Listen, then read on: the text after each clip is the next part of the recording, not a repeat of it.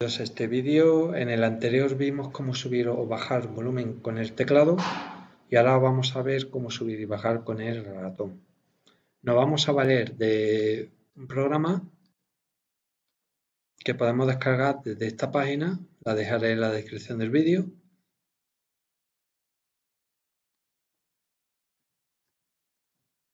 Una vez que estemos en ella le vamos a dar a una de las dos versiones eh, tenemos una portable y una instalable. Recomiendo la, instalable. Se descarga en un zip. Hacemos doble clic en ese zip, luego otra vez doble clic para empezar el proceso de instalación. Windows 11 no lo va a detectar como peligroso, pero ya os digo yo que no tiene ningún peligro. Llevo años con él y me ha ido bastante bien. Le damos a ejecutar de todas formas.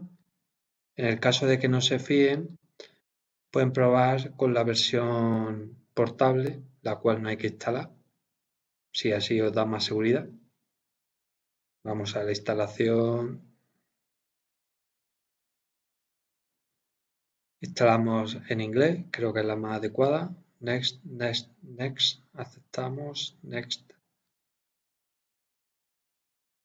Le podemos dar tranquilamente todo a Next. Aquí elegimos un controlador, que será lo que veamos en pantalla cuando subamos o bajamos el volumen.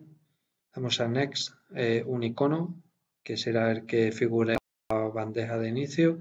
Le damos a Next, Install. Se instala en unos segundos y después veremos el icono de este programa aquí. Finish para acabar la instalación.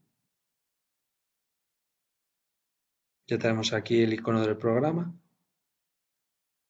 Y ahora ya podemos, eh, situando el punto de ratón en la barra de tareas, y con la rueda del ratón podemos manipularlo abajo y arriba.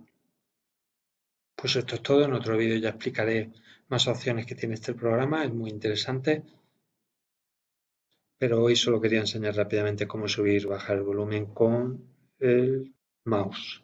Un saludo y hasta pronto.